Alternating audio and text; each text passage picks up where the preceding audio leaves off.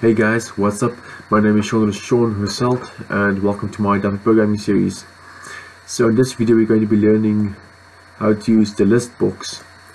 So yeah, the list box component. Let's start. I already have my form here. Let's start coding. 800 by 600. Oops. Um, why did I type that in there? I have no idea. anyway, it is 2 a.m. and I'm programming again. Woo!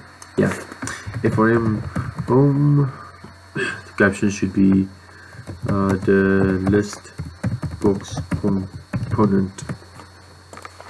Okay, so what we're going to do, going to do today, let's add a labeled edit component.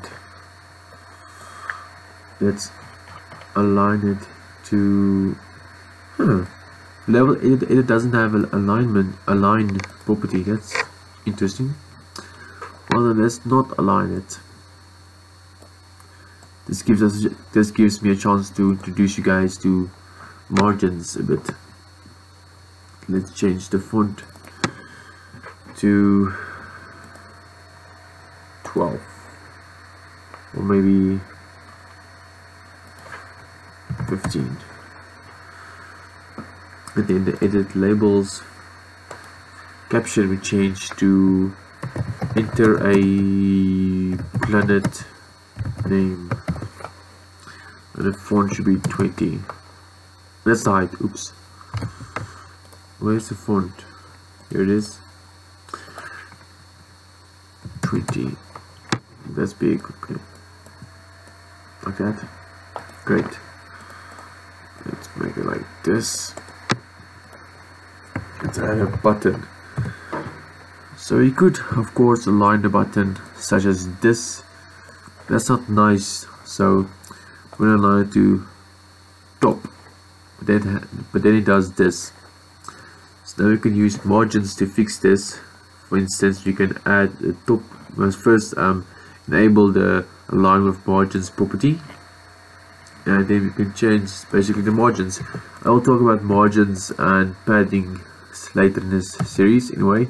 Can I give it a margin 40 50 60 100 90 80 that's basically what margins are. And the left margin of let's see what this label edits 8 then we give it the left and right margin of 8 and yeah that's basically margins. Let's also give it uh, let's not use no give it 8 okay. Let's change the font of the button to 20 caption. Click me. Okay they give the button a name of btn click me. Labeled edit we rename to where's the name property. Lbledg uh, input. So now let's add a list box component. So here's our our list box. Align it client let's call it lst box. Or just call it list. Lst I mean okay list output. Okay let's start writing some code. Wait let's first change the font to 15 okay so click me. Let's just change the key click me change to click me's cursor to hand point okay.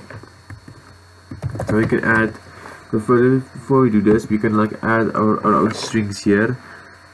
In the items these strings and you can basically add your own stuff here as you can see. And you can also sort it off you can also sort it alphabetically. Um, let's first remove this. So you can sort this alphabetically by enabling the sorted um, uh, property but it's already let's add an A there and yeah that's fine. Okay. Now you can sort it alphabetically. As you can see it's already sorted alphabetically now. So that works let's remove this. We'll leave it alphabetically. And it's also a multi-select. I haven't used this. Let's test out let's add some values. Uh, let's first disable it and basically multi-select should be that you can select one value at a time or one item. But with multi-select enabled you should be able to select two values at a time yes. Things like this. I have no idea. Let's see. Okay yes multi-select means you can you can you can um, select multiple items items at the same time. Let's remove this and write some code. So basically let's write code. Uh, lst output dot items dot add. Uh, lbl edt input dot text. Compile and this will just add planets such as earth. Uh, let's first clear the thing. Lbl edt input dot. Clear and lbl edt input dot. My mistake. Dot set focus okay let's try that again. Earth um, mercury I can't spell mercury. Mercury ah, mercury. On venus. That basically just what it does you can add uh, different thing items to the list box. We can also do is uh, let's what can I do now? Let's add another button to this form. And move the top margin make it zero. Let's call this button something else. Uh, something else. Okay.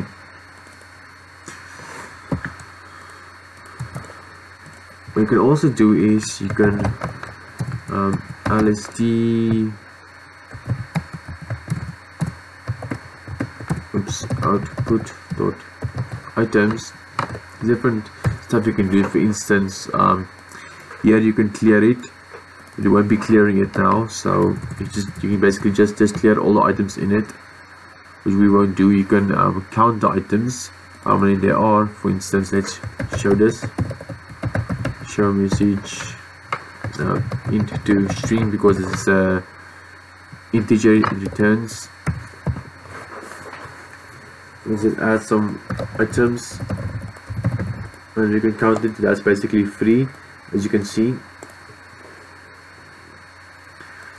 Uh, what else is there? Lst output dot items dot. So you can also delete a certain item at the index so basically say delete and let's delete the um, third item in the list. So let's do that. First item second item third item fourth item fifth item. And then so it shows we have five items and then it should now delete the fourth item as it did or the third item I mean sorry. What else can I do? Let me show you some more stuff. Dot you can also insert an, an item into the, uh, at a certain uh, at a certain index uh, which is a certain position and then also the string. For instance it showed us also. Insert, insert it at number three and it should be and it should insert hello world. So if you add so if we now add some bogus um, strings I will say something else. It will first count it then delete the third one and then insert hello world at the third one also. Or that's the third that's the first one second one third one so, so it inserts inserts it after after the third one so basically the fourth one.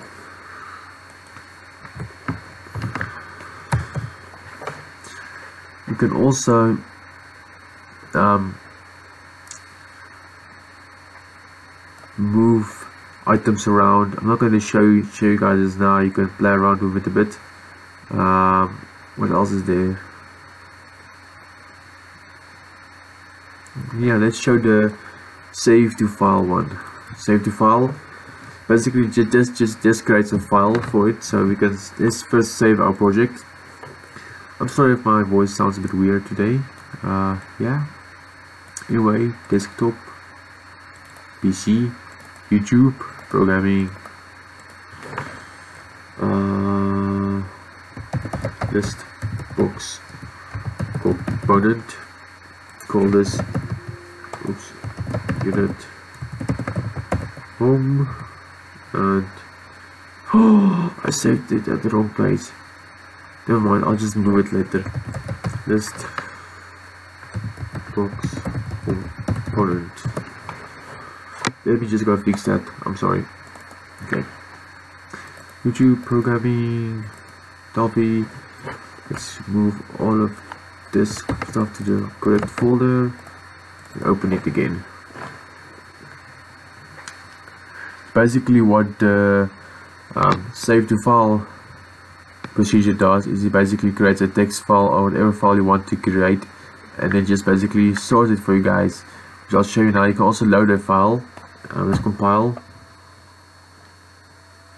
So here's our exe as you can see.